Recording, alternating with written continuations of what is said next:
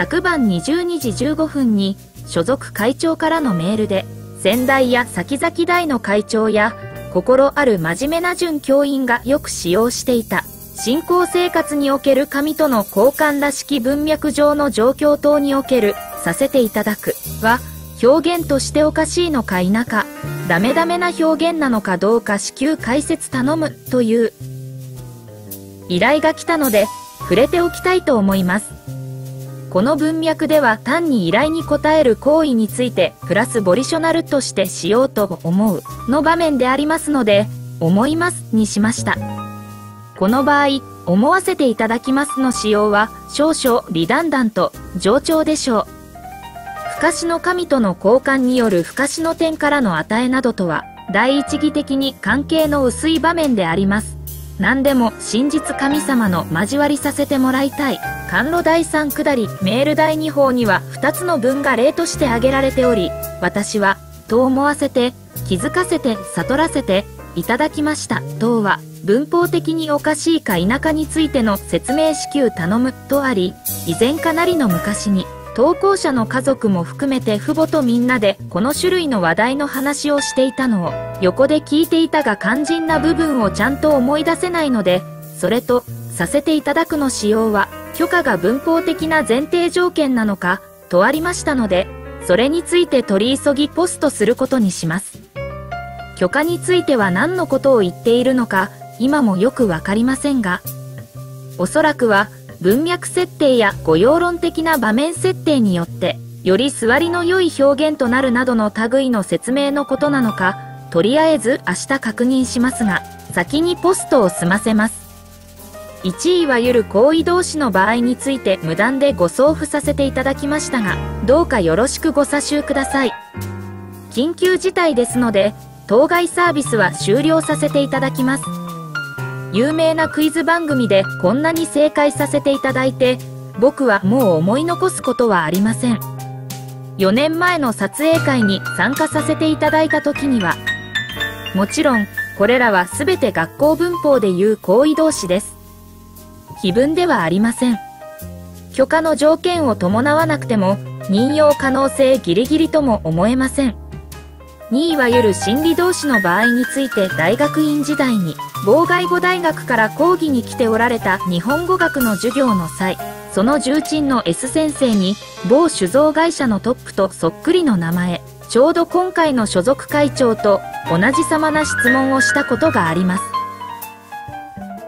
学校文法でいう行為同士との結びつきでなく心理同士との結びつきである。気づかせていただく。等の同様の例文で尋ねましたが OK ということでした。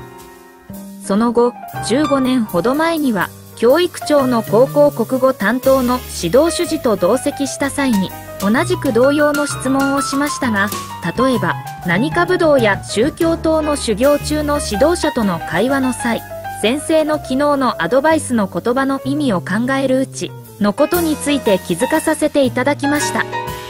ありがとうございます。という投稿者の即席の日本文に対し特に精神的な事柄に焦点が当たっているような文脈では美しい響きを持つ場合もあるかもしれませんねという話でした。A 願う心の誠から見える利益 T 教の祈りの環境で育ったならばほとんどの人が中高の時代等に下記のような神からの何らかの流れらしきものを意識することがあったことと思います。場合によっては全員が留守の際土曜の午後などに明かりをつけず新床で標識のみの静かな唱えで散座を繰り返しあるいは筆先や小吹きの書写など静筆な時の中で何かを悟ったり気づきに至ったりという経験のお持ちの方も多いのではないでしょうか。イベント X サムシンググレートイオタ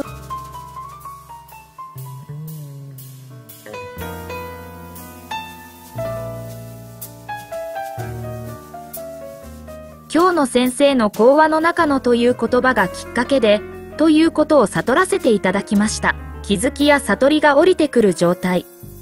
パスという上主語の通り道のすましが前提。アクトーンという心理的行為としての祈りなど、思わせていただく、気づかせていただく、悟らせていただく、など、こういう種類の心理動詞、心理術語の健常的な表現を T 教団の環境ではよく耳にします。その言葉の一つ一つを毎回丁寧に発話する方も多いことでしょう。月日両神が各々の前世の因縁に応じて与えてくださっている個々の環境下で日々の生活や祈りや偶然性を超えた何かの因果や確率論を超えた跳躍的な事象に出くわした時にそのひらめく気づきや悟りやそれに起因する資料等そういう瞬間や時間を大元にしている人は多いと存じます。心理術語、心理動詞は非対角動詞説もありますが、このあたりは、いや概念図で字数を取ってしまっているようで、すでに5センチが近くなってきており、またの機会にさせていただきます。I realized that my elder sister was her own mother in her previous life.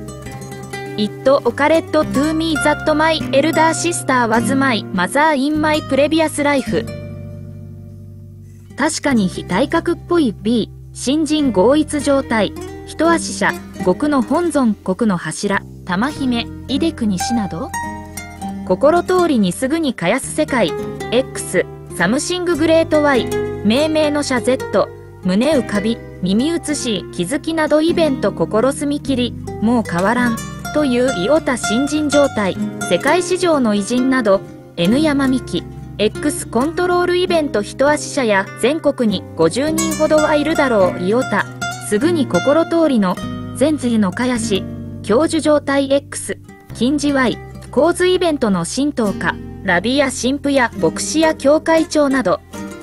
イオタ T 教関係の場合は教団組織デトックスビカムステート環境下で里や町中の善人状態その多くイオタは組織から距離を置いた状態で日々の旧礼に YB-with-Z 集中しておられる真面目な会長さんたがほとんどだとと思われる。天然自然の理法の中でそれぞれの因縁に応じ各々のの場所や環境に置かれているわけですが日々の生活において手足や口をすすぎ場合によっては断食や水明かりなどによって身や心を進めながら催眠他人の旧礼などの祈りを捧げる。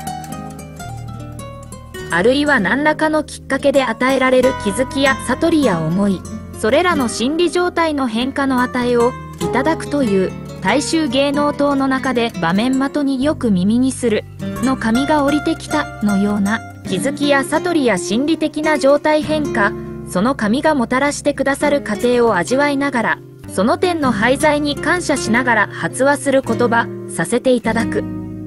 形骸化すると意味はありませんがその変化をきっかけとする心理的な術語同士は進行上重要だと思わせていただきます。と気づくと悟る等は言うまでもなくセルフコントローラブルフィジコ制御的です。脳外内の電磁場と呼ばれる中のシナプスやグリア細胞やフィラメントなどで生じている無数の科学的な電気信号が一瞬にして秩序立地一つの意識や気づきを生み出す？未だ謎だらけの意識の生成過程ですがまさにミクロの量子の世界でサイコロを振るのは神。だがそれぞれを見分けて手引きし悟りや気づきをもたらしてくれる神？言うまでもなく心理同士の守護位置はエキペリエンサでアジェンティーブではない受動認識の立場。以前に見た青年会の動画では確かある言語での「I love you」の意味が興味深かった。あなたへの愛は私のもとにやってきて、今ここ、胸っぴに止まっています。主語である愛は、愛を受動認識するエキペリエンサ。